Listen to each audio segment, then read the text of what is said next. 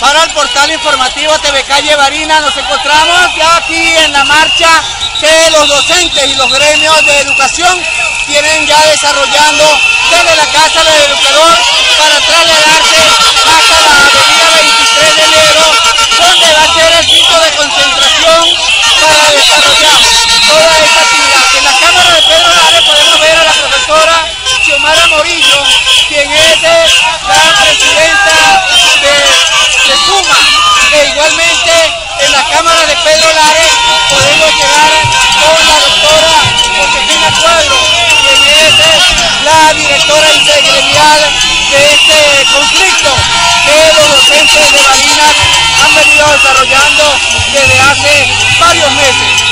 Podemos ver en la Cámara de Pedro Lares como más de dos cuadras